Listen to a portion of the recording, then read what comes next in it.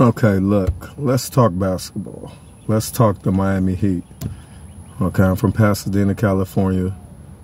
I've always been a Miami Heat fan, always. I was born in 1980, so the Heat came out around 88, 89. Um, so look, let's skip and let's just take it there. It's hot. I'm in Texas. It's hot. Houston, Texas at that, where it could be 90 degrees and still rain. Okay, let's get to it. So, I just want to start off. I just want to start off by saying, how good would Tyler Herro be next to a LeBron James? Now, I like Jimmy Butler. Jimmy Butler's good. I love if we keep him. Um, I just don't know how all of this is going to work. Same way I feel about Caleb Martin and High, uh, Haywood Highsmith. Um, I think Highsmith can handle Caleb Martin's role. Um, I've seen Highsmith get the green light. I've seen him get the green light and do his thing. He's a little stiff, but he has defense and he play, plays with a high IQ. So I like Highsmith. Um, I like uh. Um, we need somebody next to Bam. Uh, Rozier is good to go. I don't know why all these talk, you know, all this talk about point guard trades and all of that. I get it. He may play like a, a shooting guard, but that's just because he's talented. Don't take away, you know, his stature as far as being, you know, all around player and say, oh, he's not a real point guard. He plays more like a shooting guard. That may be, but he can play point guard which means he can make plays. He can pass the ball. Um, yeah, he doesn't have to pass the ball. He can green light it and just go. So I like uh, Rozier. Um, you know, Tyler Herro, you know, he would be different next to a LeBron James that commands double teams, triple teams, pass out. You know, even more better than uh, Duncan Robinson.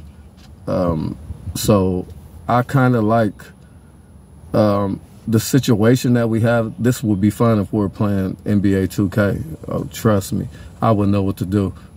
But even if I messed up, I would do it so many times that, you know, I would get it right eventually. Have that super team, right? But definitely it all depends on who we draft tonight and um, all of those things. But I will say, you know, when you talk about Mitchell and trading, you know, for these stars.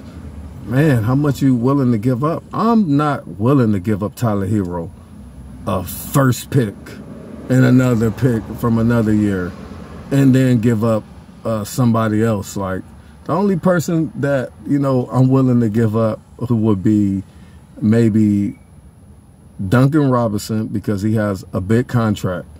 I would give up Duncan Robinson I would let Caleb Martin go because Caleb Martin, one of them players, you, you know, he's good. And he gets injured. A lot of people get injured, but you're either going to play Caleb Martin full time and get the best from him, meaning IQ, all his skills and all of that, decision making, or if not, then I don't know about paying him 12, 13 million to just do what he's been doing. I, I don't know. Like, I, I'm not going to do that.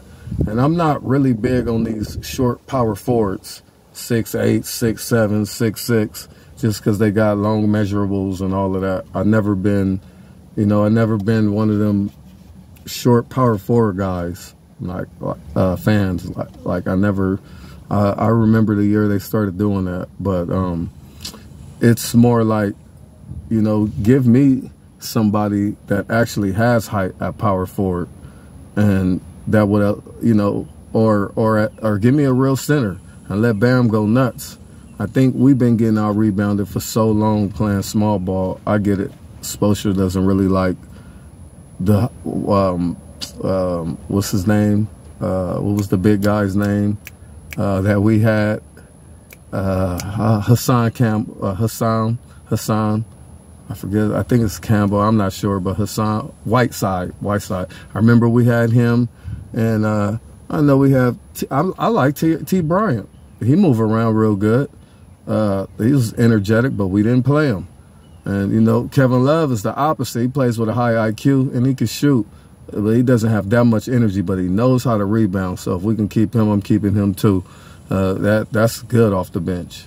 So I like all of that, but we can't do everything. It has to be, you know, we have to go a certain way. It looks like we're gonna keep Jimmy Butler.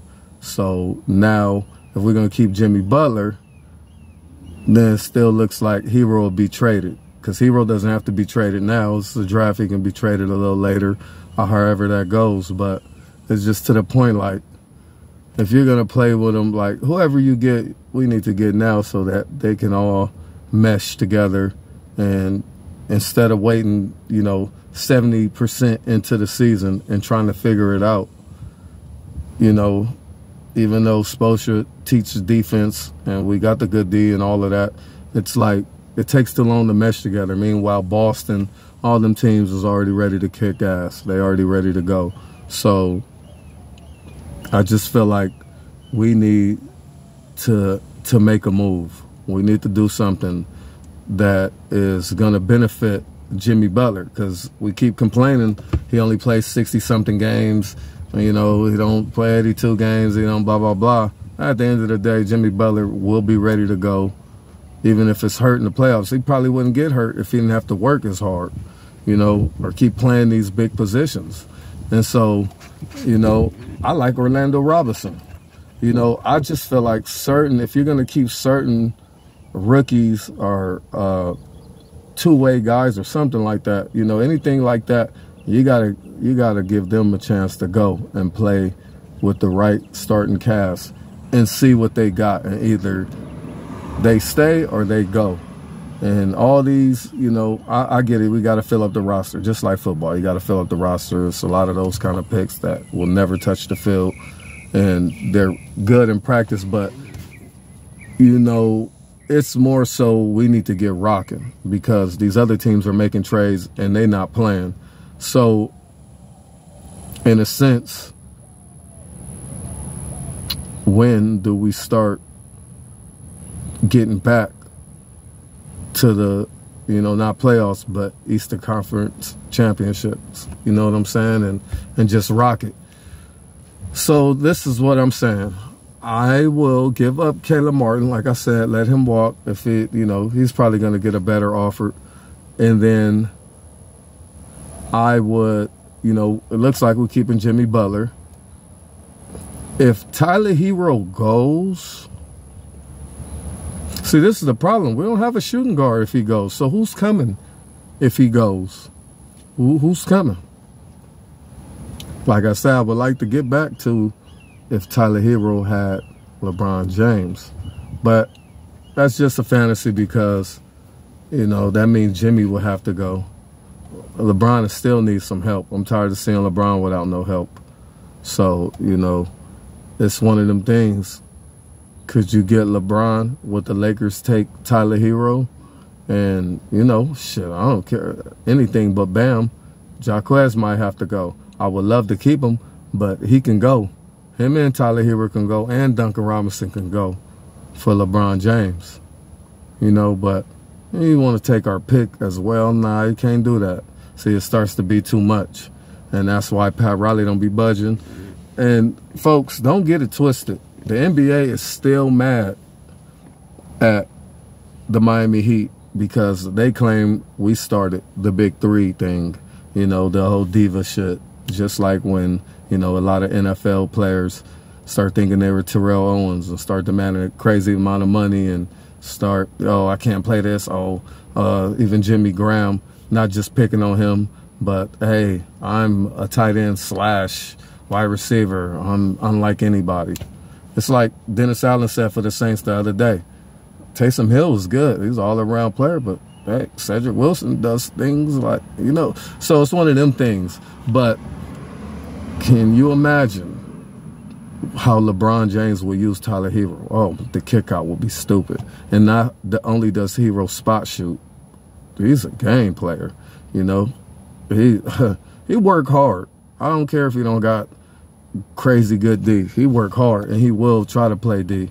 You know, we don't have people that can get back to the rim fast enough. You, you put playing Duncan Robinson at power forward, hey, uh, Highsmith sometime at power four, undersized, and not playing Bryant, not playing Orlando Robinson. Um, you know, I I knew it. Oh, it hurts when you're a fan, a real fan, and you just know it ain't gonna happen.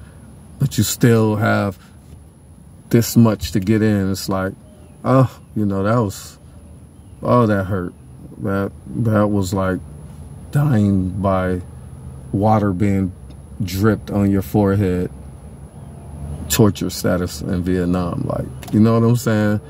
Uh, but we'll have to think this one out. We'll have to see who we're going to draft, who the Heat will draft with the number 15 pick, and um, see if we trade down, get somebody else. I'm scared to get one of them six six guards or something. They don't work out, can't shoot NBA level. I'm, I'm nervous, but I would rather get a, a mobile a mobile big man. I don't know if they're talking about Silva or something like that in the draft, but I would rather get somebody that can move with Bam. But like I said, I'm not crazy big if you're not a real power forward or a real center, all that hybrid stuff, it's like, mm, we've been there and done that. We're not doing that no more. Like, it's time. It's time. I'm talking about Embiid. You know what I'm saying? I'm talking about Miles Turner. I'm talking about it's time to get one of them. You know, I know things cost. I know we're above the cap. All of that. There ain't no taxes. People want to come.